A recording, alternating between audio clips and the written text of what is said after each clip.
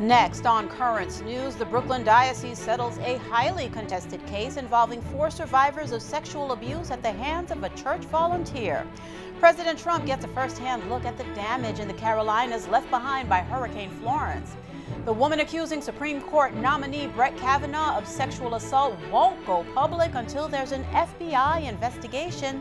Plus, I talk with one of the nation's foremost Latino Catholic leaders about the Encuentro, which is about to get underway in Texas. The news starts right now.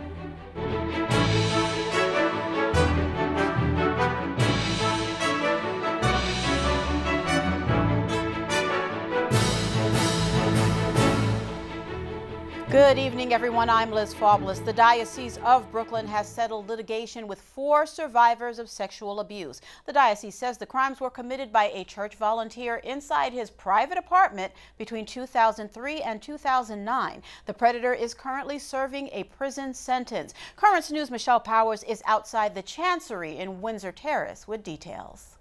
Four men who were repeatedly sexually abused as minors by a religion teacher at a Roman Catholic church have reached a $27.5 million settlement with the Diocese of Brooklyn. That's one of the largest payouts in the history of the Catholic Church.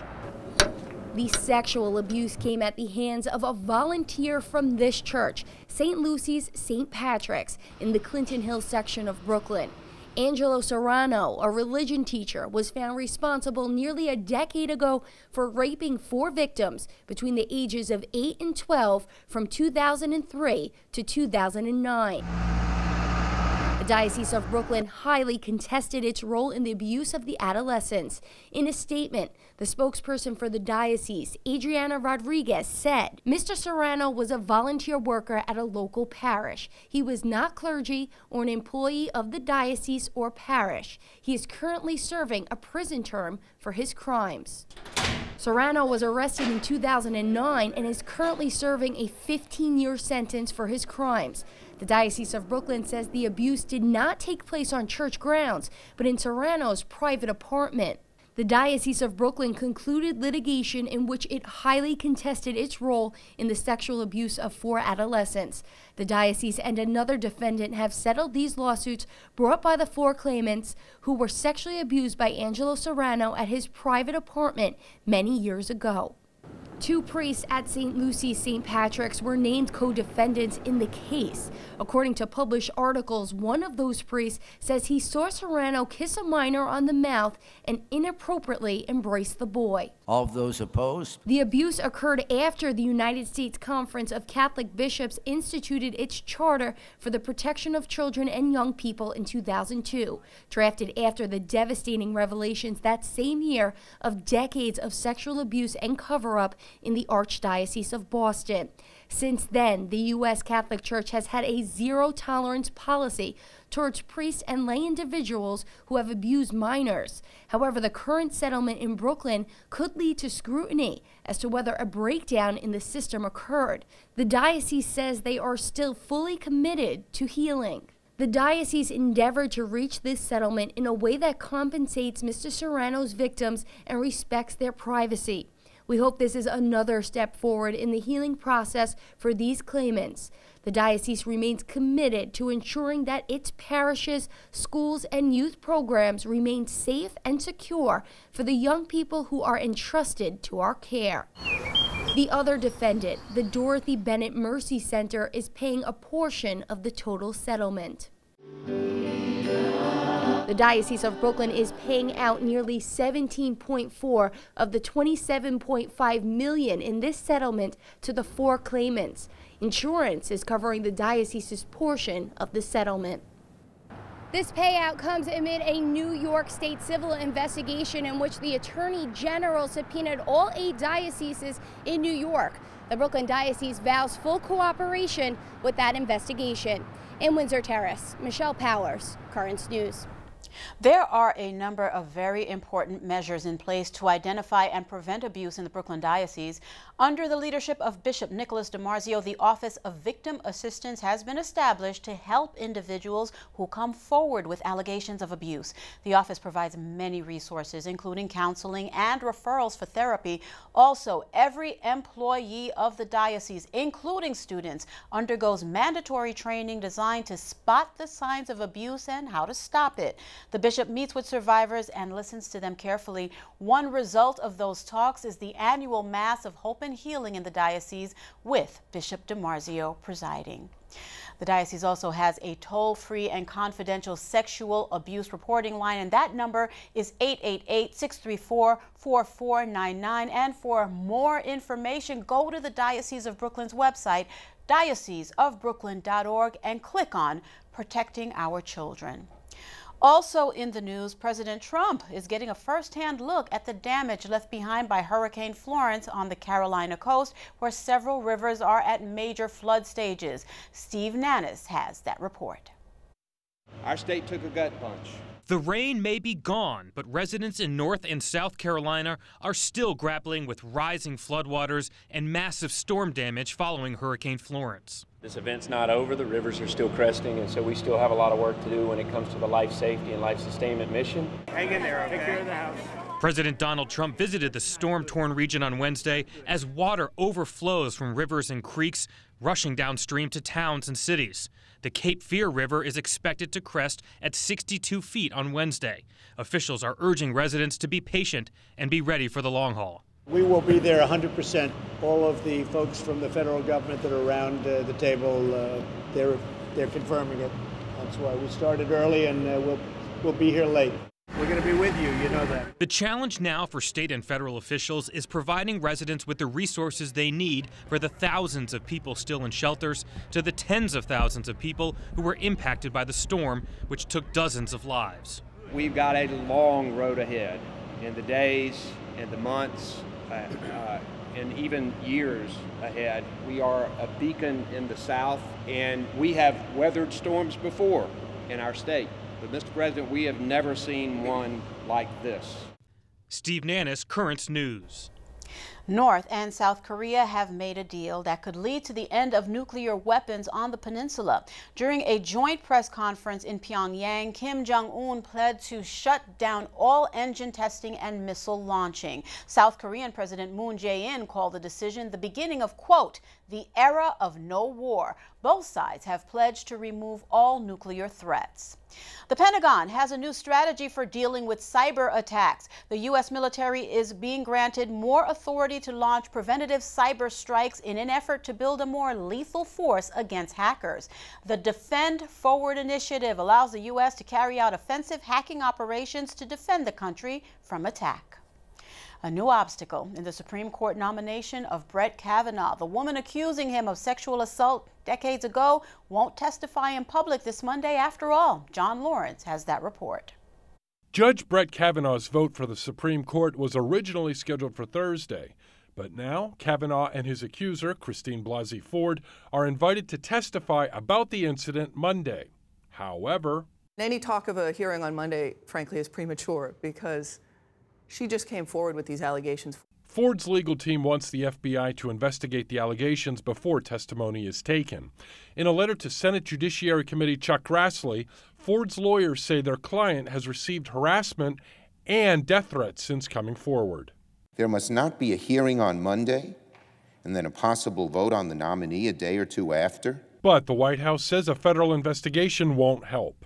They don't want to be involved. If they wanted to be, I would certainly uh, do that. But as you know, they say this is not really their thing. Most Republicans still back Kavanaugh, calling the assault claim an accusation which he has unequivocally denied and which stands at odds with every other piece of the overwhelming positive testimony we've re- received.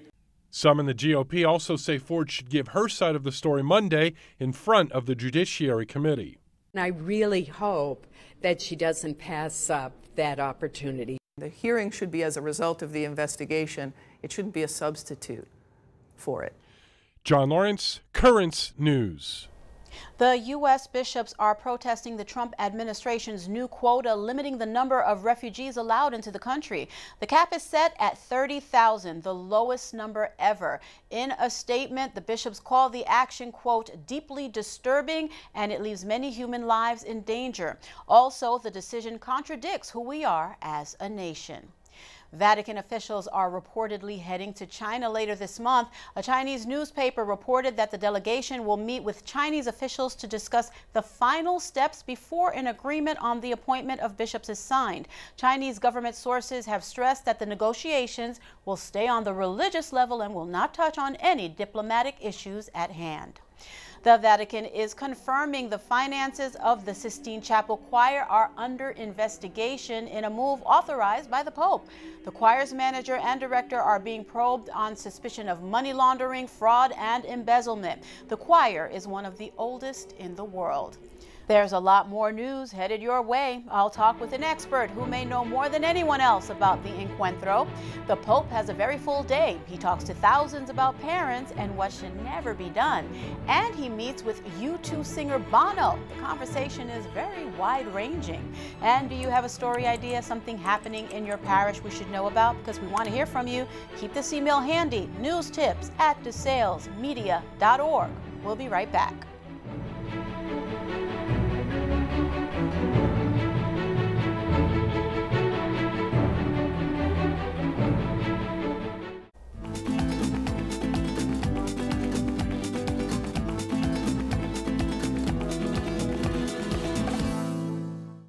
Catholics from around the country are heading to Texas for the fifth Encuentro. To talk more about it, the founder of the Board for Catholic Association of Latino Leaders and an expert on the history of the Encuentro, Mario Paredes, and he joins me now. Mario, thank you so much for joining me. I'm looking forward to this conversation because you wrote a book called The History of the National Encuentros, Hispanic Americans in the One Catholic Church. Tell us a little bit more about this history. Uh, well, uh, thank you for the invitation. Delighted to be here. Uh, we began in the early 70s a process to look for integrating Hispanic American in the life of the church. Mm -hmm. And it began here in Brooklyn. Oh, everything good Father starts in Brooklyn. Jack O'Brien, mm -hmm. he was the prime promoter mm -hmm. of the first national encuentro that took place in Washington, D.C. And to that call joined Monsignor Robert Stern from New York Archdiocese mm -hmm. and a number of other directors of Hispanic ministry in the Northeast. From there, now we have the first encuentro in mm -hmm. 1972. The second encuentro, we had it in 1977, and the third encuentro in 1985. And from there on until now, mm -hmm. the fourth encuentro truly was not a fourth encuentro, it was a, a national celebration mm -hmm. of the millennium. Now, as you watch uh, the encuentro progress and move forward, What's the atmosphere like? What are the major changes you've seen from event to event?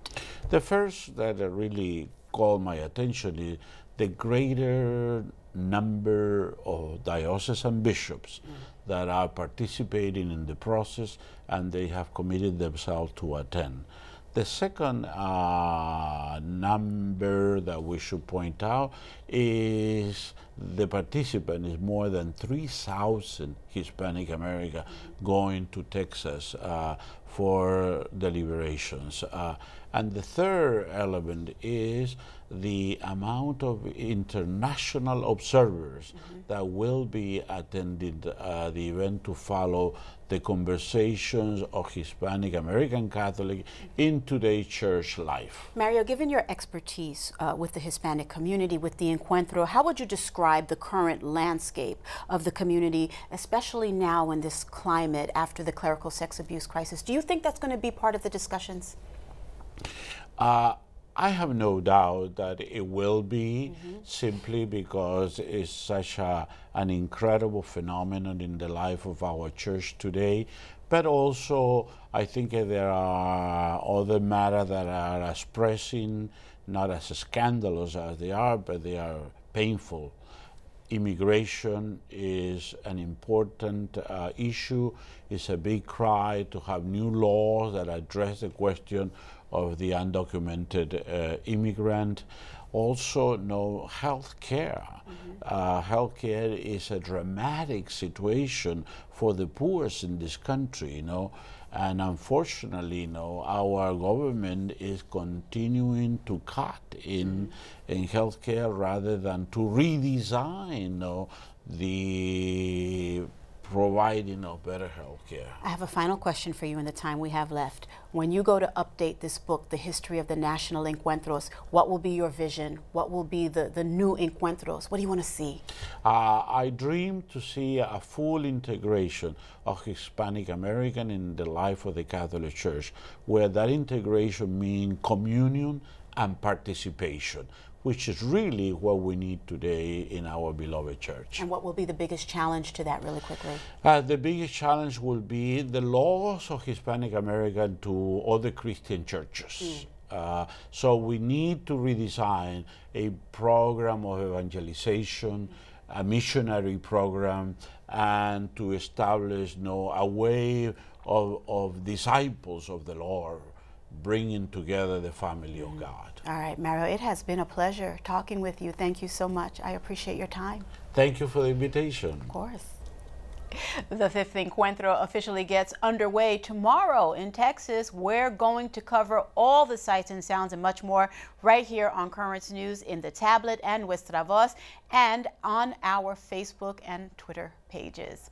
Today at the Vatican, the Holy Father had a high-profile meeting with U2 singer Bono. Their talks covered a wide range of topics and Melissa Butts reports. Pope Francis met at the Vatican with Bono Vox, the famous U2 singer who took advantage of his European tour to stop in the smallest state in the world. He spoke with the Pope about how to improve the education of the children most in need. Bono has worked for more than 30 years within the philanthropic foundation he co founded. One, it acts to end extreme poverty for children, and he's traveled to Africa more than once to help.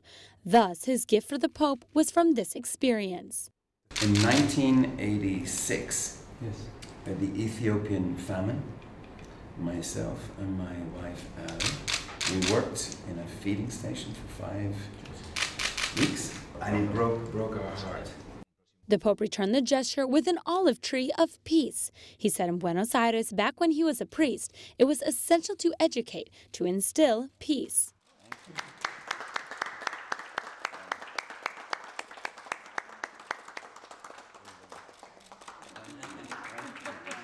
They affectionately said goodbye, and the Pope asked the singer something that's not very unusual. Later, Bono went to the press room where all the media were waiting for him. He explained his conversation with Pope Francis and said that inevitably the cases of abuse came up. Uh, we also inevitably, having just come from Ireland, we talked about uh, his aghast, his, his, his feeling that he had, his, excuse me, we talked about the Pope's um, feelings about what has happened in the church. And I, I explained how you know it looks to some people like the the, the abusers are being uh, more protected than the victims, and he you can see the pain in his face, and um, I felt he was sincere, and um, I think he's an extraordinary man for extraordinary times. It's not the first time that the singer has met with a pope. In 1999, he had an audience with Pope John Paul II. At the Vatican, Melissa Butts, Currents News.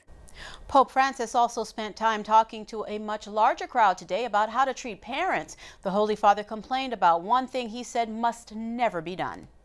E poi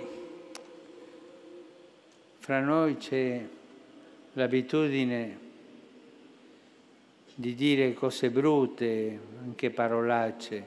Per favore, mai, mai, mai insultare i genitori altrui. Mai. Mai si insulta la mamma, mai insultare il papà. Mai, mai. Fate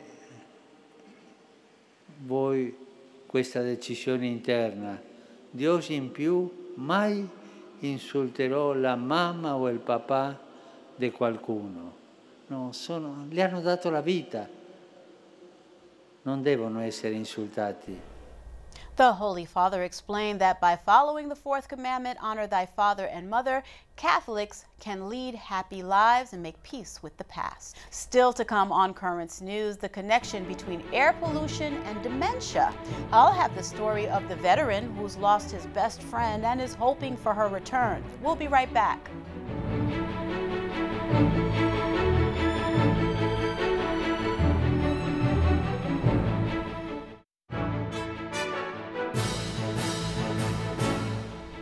A new study shows that breathing polluted air may be killing your brain. Researchers in London have discovered that people living in the most polluted areas of the city were 40% more likely to be diagnosed with dementia.